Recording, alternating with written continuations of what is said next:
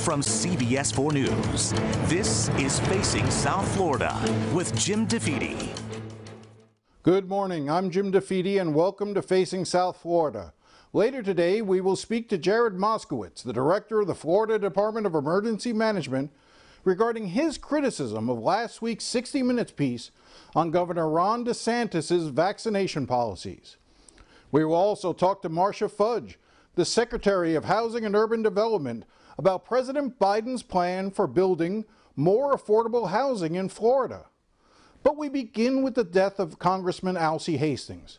In her first interview since Hastings died, Debbie Wasserman Schultz remembers her friend and mentor, who passed away this week after a long battle with cancer.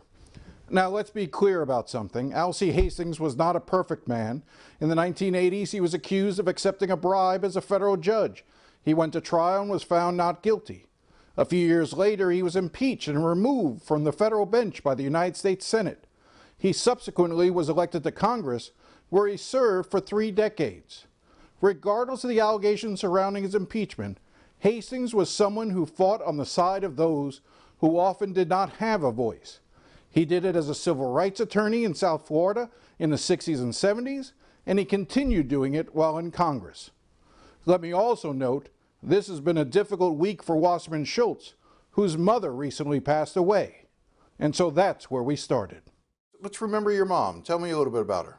God, that's so hard. I, I, you know, I, I, can tell you I haven't been asked uh, a question about, you know, either of my parents in uh, in all the years I've I've served in office. Um, my my mother was uh, Ann Wasserman was just, you know, the most the most devoted, committed mother, committed to motherhood, committed to raising children who would grow up and make a difference in the world.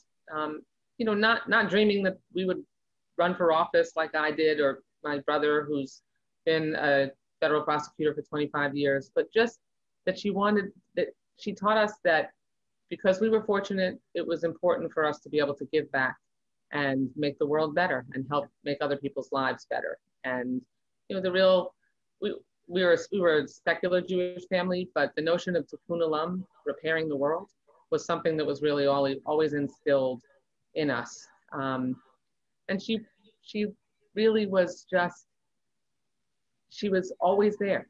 I mean, truly always there.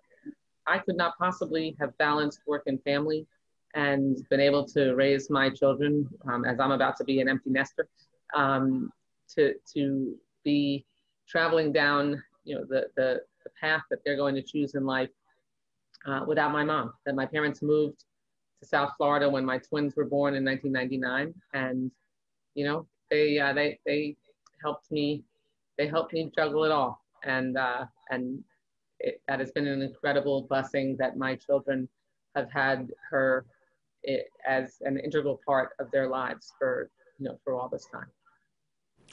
Again, I'm, I'm terribly sorry. And, and I know this is also the first chance you've really had a chance to publicly speak about the loss of Alcee Hastings as well, which came just a few days later. And, and, I, and I wanted to spend a little time talking about about Alcee because I knew that that that he was he was an important part of your life as well in terms of mentorship and and and guiding you you know in in Congress and and just in I'm sure in a number of different ways. Talk to me about Alcee.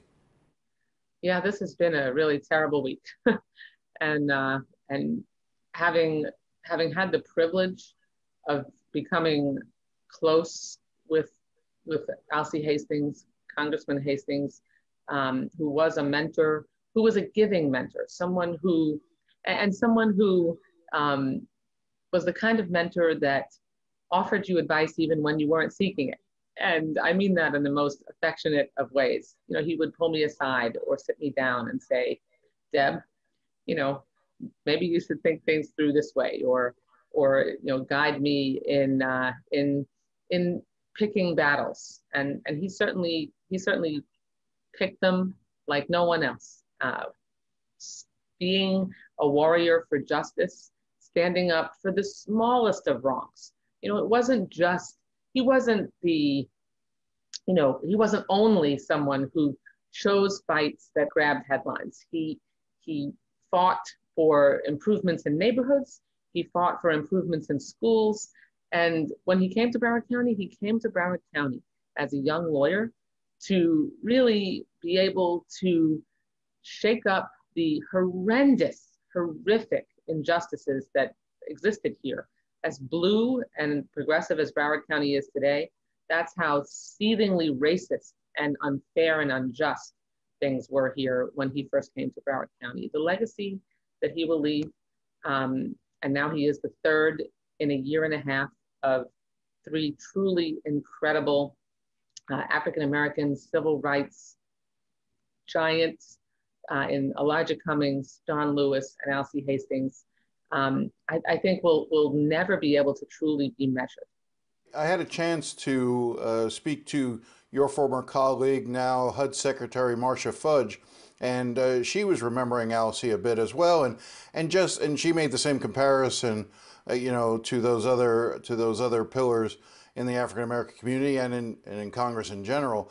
And and I asked her why she thought there were or why she thought there weren't more men like Alcee Hastings and John Lewis and the others. What what made them unique in in their time and and why we don't see more of that today. What what would your response to that be?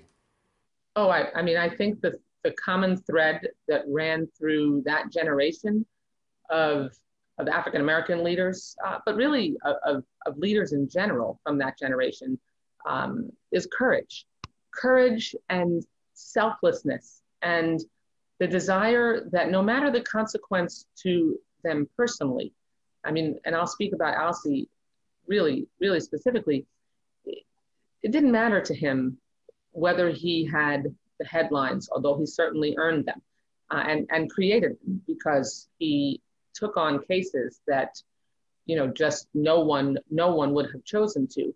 It, it was really about making sure that his service, whether it was as a lawyer or as eventually as a member of Congress, re- reflected getting his hands dirty and fully immersing himself in the, the battles for justice that, that would not have been fought if not for him, him being there. While certainly that there are plenty of battles, uh, particularly with voting rights, that we have to have to wage, but there were others that joined the fight thanks to the progress that they helped forge, and, and also because of the progress that they won. As a result, you have uh, the, the result that they fought for. You have African American elected officials, many more than were than there were then, who are able to not only fight those fights, but also fully engage and and and carve their own path on issues that are not really primarily focused on winning battles around justice. Uh, that that's that's an incredible legacy that Alcee Hastings deserves. Just just focused on on that. Um, but, but quite frankly, he, he was always about vigilance and making sure that, that people understood that you can't be quiet. You can't just settle for the progress that we've made already. You, you have to really make sure that you keep fighting because if you don't, as we've seen now with the voter suppression laws that are being uh, that are being pressed here in Florida and Georgia and around the country, if you if you just settle back and say, you know, job well done, um, then the, the oppression and repression will rear its head again as it is now. I, I think it's always important to recognize that we're all uh, fallible. We all make mistakes. There are, we're, we're human. And, and, and it, sometimes in painting people uh, in, a, in, a, in a particular way, we lose sight of that. And, and, I, and I, so I think it is important to remember some of the some of the some of the lower points in his life, including he did go through a, a public corruption trial. He was acquitted. He was impeached, you know, as a federal judge and removed. I don't know if you ever eh, not had conversations with him, but how do you think those that that experience, having gone through the criminal trial, having gone through an impeachment, how that how that shaped him, you know, and and what that says about him in terms of how he was resilient and came back from that? We did. I mean, we certainly never got into the details. You know, that, that trial was, uh, you know, was really back when I was in, in high school and well, in, in college. He just looked at it, looked at those um, at, at the times when people came after him um, as really part of the battle scars you have to wage for for standing up against against the tyranny of the times. And you know, he was the first African American appointed to the federal bench from Florida. Uh, that rubbed people the wrong way back when uh, Jimmy Carter did that, and it was progress that many didn't want to see. So, I, I think what he did was he just sort of shrugged those things off, put his head down, and kept going forward, uh, which is what he always told me, uh, because you know there were uh, there were a lot of battles to fight, and and frankly, he didn't even talk about things like that very much because he was so not about himself. He really never. I mean, think about this, Jim. Alcee Hastings never wrote a book, although he was certainly, uh, he, even though he had so much in his life that had happened that he could have written about, but he wasn't interested in in that kind of enrichment. He he wasn't interested in in you know shining the spotlight on himself. Uh, he was interested in using the power that he gained, and he gained much of it, um, and respect by helping to make sure that the other folks who sent him to Congress to be their voice knew that he was their voice every day.